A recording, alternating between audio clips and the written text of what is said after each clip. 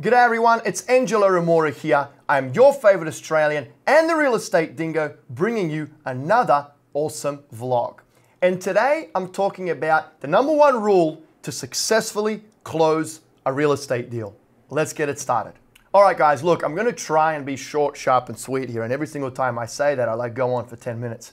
But um, look, and, and, for a lot of you investors out there that have bought multiple properties and understand um, the real estate game, you're probably gonna think, you know, what I'm about to say is kind of funny and why, why are you saying that? I mean, people should know that. Well, look, I can tell you right now, that's not the case. And a lot of people don't know it because over the last five years, I can't tell you how many investors have sent us money to purchase a property, as in our company account instead of the title companies.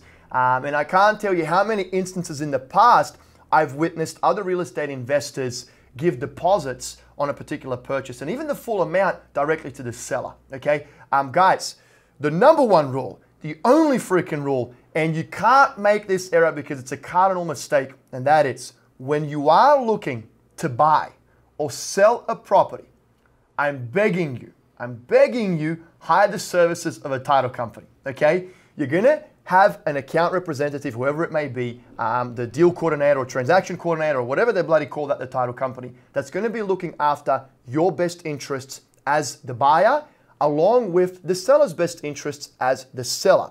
The title company is there to act as the intermediary. They are the ones that are going to do any searches for back taxes, liens, um, they're the ones that are going to prorate any rent or deposit if the property is tenanted. They're the ones that are going to hold your hand throughout the entire process of where you need to send the money, how you need to send the money.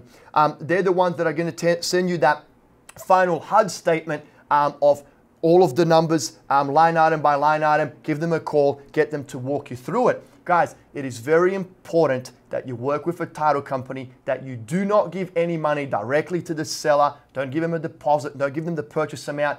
And look, I, I love all of our investors that actually send money to us. We have to send it back. Um, but look, it is very, very, very important that you work with a title company. I can't stress it enough. Another thing, too, before I finish up, actually, that was short. Cool.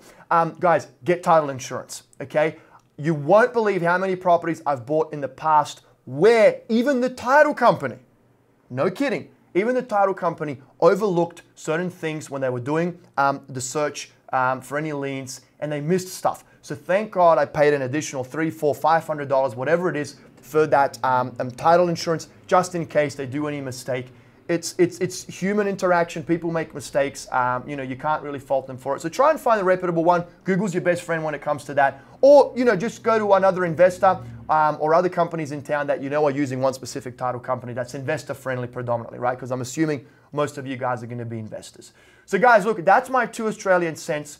Um, I know it might sound weird to a lot of the more experienced investors out there, but you wouldn't believe how many new investors make this mistake. Um, so I'm hoping that after watching my video, you're going to be working with a title company.